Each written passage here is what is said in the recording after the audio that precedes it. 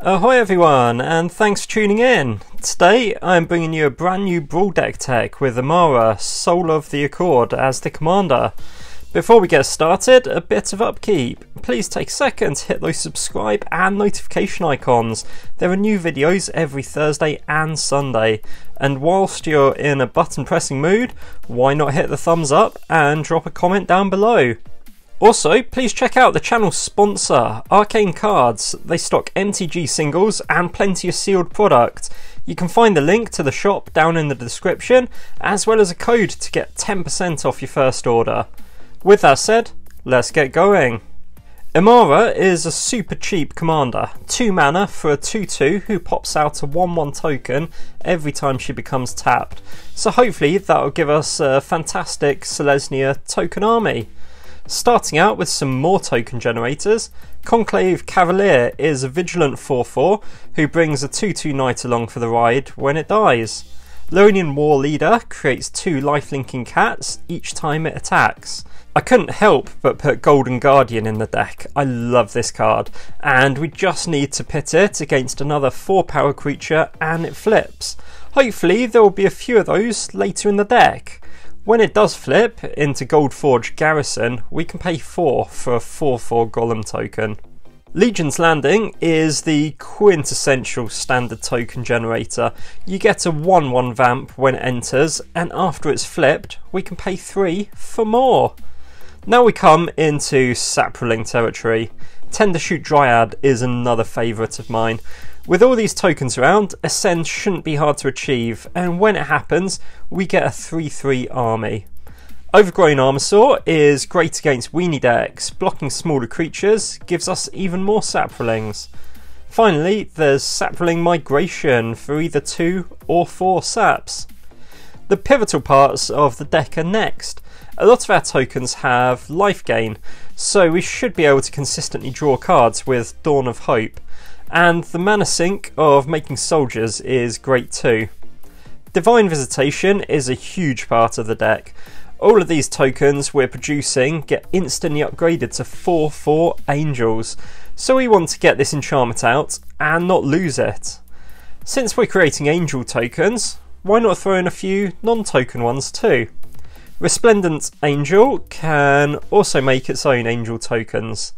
Lyra Dawnbringer buffs all our angel tokens up to 5-5 and gives them lifelink to boot. Shalai, Voice of Plenty, helps to protect the army we've amassed by giving them all hexproof, but remains vulnerable itself. There's some big payoffs included for having so many creatures on the table. Ghalta should cost next to nothing to cast. Impervious Greatwurm goes even bigger, it's a 16-16 with Convoke and is indestructible. Worldsoul Colossus also has Convoke, but has a more flexible approach to its power and toughness. Then there's Trostani Discordant, providing an anthem effect and fighting against the evil pirates and red elder dinos of the world. March of Multitudes has shot up in value since it was spoiled, and rightly so. Creating a crazy amount of tokens in one go is powerful stuff.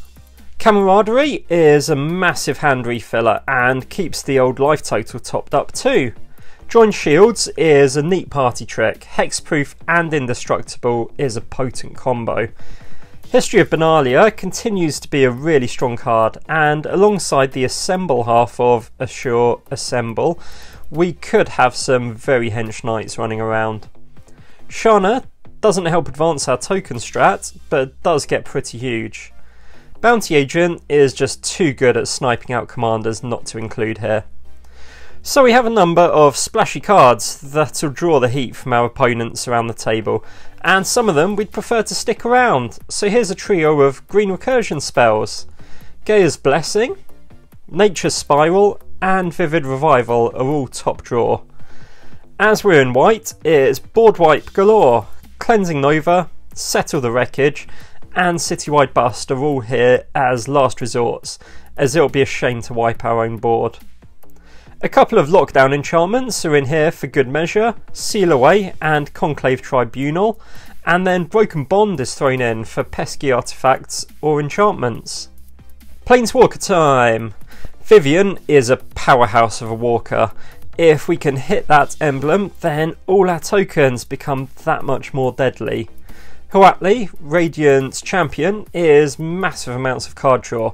Imagine having her emblem out and then casting a massive March of the Multitudes. Finally, for even more draw, there's Shaper's Sanctuary, just in case we weren't drawing enough cards. Mana base next, and we start off with dual lands. There's four available to us in Selesnya colours currently Temple Garden, Sunpetal Grove, Tranquil Expanse, and Selesnya Guildgate. A touch of utility to our lands next Detection Tower, Field of Ruin for those pesky flip lands. I'm looking at you, search for Azcanta. Arch of Orazca, and then Evolving Wilds. Memorial to Glory gives us even more token generation, and we round it all off with 8 plains and 7 forests. And there you have it, my Emmara Selesnya tokens Brawl deck tech. If you haven't already, please remember to like, slash comment, slash share. Don't forget to subscribe, and then head over to Arcane Cards for your MTG singles. Thanks so much for watching, catch you all on the next one. Cheers!